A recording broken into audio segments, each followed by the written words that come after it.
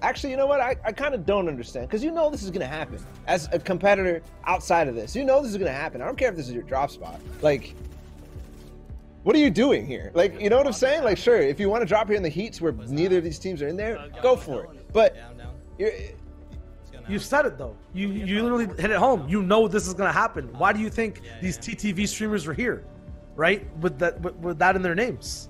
Well, what could the reason be? I'm just saying it, it's it's it could be not clout. that's is what the I'm thing. trying They to say. don't own it. They do not own it. What is he doing? I, Yeah. 100% they don't own it, but it doesn't matter what they, whatever. Who is you that? know? I don't know. I couldn't see it. This is an aerial fight. Yeah, what the heck? He just chased him out. Anonymous mode. It could be scoped. it could be Tfue.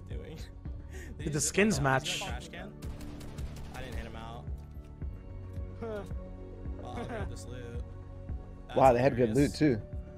Oh my Heavy sniper God. and minigun. That is the tiniest And it's thing Brutus's. seen, yikes. What the We'll find out who it is with this confirmation, Elam, when it happens, because He's definitely gonna try and I don't think this guy can survive even with a launch pad. It's a half pad. That has to be T4 scoped. Yeah. I mean, someone to be able to half pad that fast, I don't think it's. Wait. I think the other Oops, might wrecked. come back, come back. I'm sorry.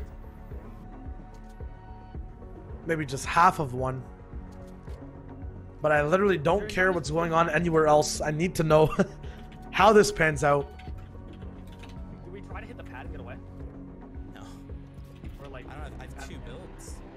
okay, I have Tfue getting hit off 125 meters away. That was an instant finish. That means it had to have been scoped. These guys took out earlier on. You have white heels? That or ISIS POV was kind of delayed. Here's scoped actually. Yeah, that was a delayed POV. Yeah. And This is scoped see- with the half pad. It's scoped with the half pad, and you can see Tfue's card is where AV had Yeah. lasered him out the sky. So 100% is him. Scope still alive. Scope still making it out. He's gonna try to get in the bush and chill for a bit so he can heal up before trying to move on. And the fight's still going on. Oh scoped is waiting. He's pissed. Oh, It's Oh! My What? god. Is this a fifth team? It is. I told It you. It must be. You were right. amount of mats. pad. How many kills? There's another pad being taken. I'm He looking at padded, you padding. said? What is this build? What? Yep. Wait, I know where I'm at. It's a pad for positioning in a zone that's coming on an ice mountain Dog shit, dog shit. before seconds locked in, and AV picks it up in five seconds. Like it's an AI.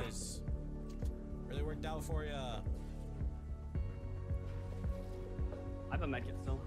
Uh, I, I haven't seen cameo. Thresh Throw the medkit down here. this entire FNCS. I- I believe. Okay. I'm not even joking. Not even building. Possibly has a chance for a beam. This might be the only chance if these guys slow down, but they won't. If there's anyone that needs that box item, it has to be scoped.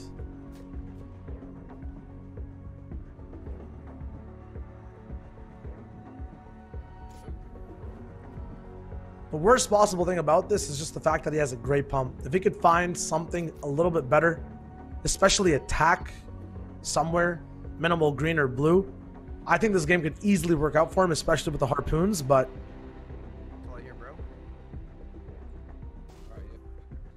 in zone, but damaged, hurt. Um, Before I pop it. maybe. More overall mats, but worse overall position to get focused. I mean, it made sense to have that big fight against Thrush and Bank people don't think the boom Mm-hmm. strong. off of the side of that. All the power weapons. Scoped is still alive. Okay, definitely a worse position than AV, but he is going for a fight. But he has a white pump. No, there's no way my man has a white pump. Yeah. So sad. What are they doing? It seems like he kind of has a free rotation though. Yeah, that he does. I don't know if I'm sending it two tap. But I don't think he can get any sort of impact with a white pump. I mean, Chap started his off last game with just an AR beam. He's baiting his own loot. He needs to hit the shot. Oh, it's not going to be possible at all. I was going to say he might not pull the trigger, but he does. Now only six attempts left with that heavy sniper, six harpoons as well. To grab off loot. If he just tries to survive, looks for, I don't know, not a third party, but a third, a third looting opportunity. Just being one of the harpooners. Yeah. 12 above. Eight, eight above. That's the only way.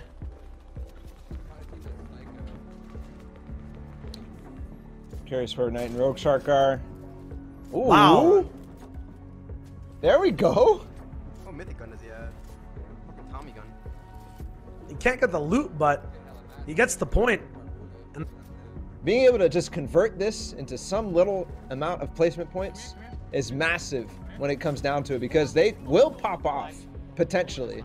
Although, depending on how the grotto continues to play out, maybe that's not so much of a potential after all. But still, that's what we're looking at from a team like Zayt and Saf, from another team. You know, it's being able to put these shamble games into something, at least something, and then using the games that aren't shambles to completely convert and make it a big one.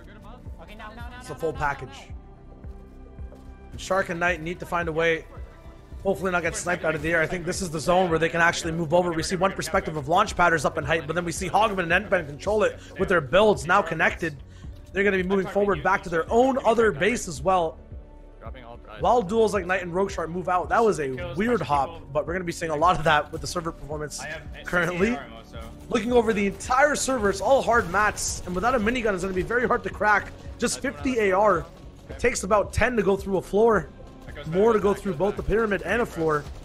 I don't think Hogman has a wave to actually get some eliminations here, but they, No. these guys can pressure down. Really have angles on Yeah, I, I think best case scenario for them is just keep this tarp, keep this tarp healthy, maintain high ground for as long as possible, for a free ride to placement, and then from there, possibly start to use what weaponry you still have left. But there's very few chances right now for I'm gonna lead. I'm gonna lead now. a pop-off game, even though this looks so good. Hogman and Enpen, they had a crazy clutch performance in week one to qualify for Sunday finals, but didn't perform that well. RPG still in play. And so right now they're sitting most likely qualified in series points. 13 on. But you never know what could happen. Of course, playing in the Sunday finals this week is probably enough. uh, we're really high. I don't think that's possible, but I'll watch it. I don't know, they As long as you keep a dual partner the whole way through, I'm shooting out a launch. it helps out so much. When you don't, that's when things change. Everything here has to be strategic though from Hogman and Enpen going downwards, luckily and hopefully not getting overtaken by an RPG combination, an R- uh, grappler as well. Yeah, I'm gonna go down a little bit. A combination of both too. Play higher level. Play higher. They're looking Yeah, for us. They're looking for it. They're looking for it. And it looks like I, Enpen has an SMG and Hogman with the AR, so they Okay, okay. splitting that ammo pretty efficiently already. Okay, good, good, good. And now here come the placements. worry, AR. I hit him 30. I hit him 30. 400 wood. So much time still to be able to spend up here. Connor's still in endgame with Waffles, both alive on a mid-ground layer. In my box, trying to get in my box, trying to get in my box. This is where defense is key and synergy will triumph. Staying together, having mats, moving together as well is huge. Come through, come. Just get there, get there. Good catch and not falling on a launch pad. Waffles seems kind of disconnected from where Connor wants to go. Kind of delayed reactions to the tarp. Connor is making quick calls, but now they're going to be faced onto two different people on a wall. Connor Yikes. making the wrong decision, two points away or two places away from placement points. They tune back in with height, and they're looking to end the game. So unfortunate you go on a fully built metal wall you can't see on the other side, and on the other side for them is a full duo now, Hogman and Edpen. They still have a launch pad if they want to decline very, very fast, and still so many materials, but a grappler now in play. But like we saw in EU, not really going for heights, more so just trying to survive for longer for these clutch moments. Hogman and Edpen are still hanging on. Not by a threat at all. They have a lot of mats to operate. They have the combo weapons as well with the heavy sniper and the shotgun to follow up. Hogman actually getting the wall, looking for a shot in. His cone actually, I think, dropped down by Endpen. He can edit through, or it was shot out. Good teamwork right there.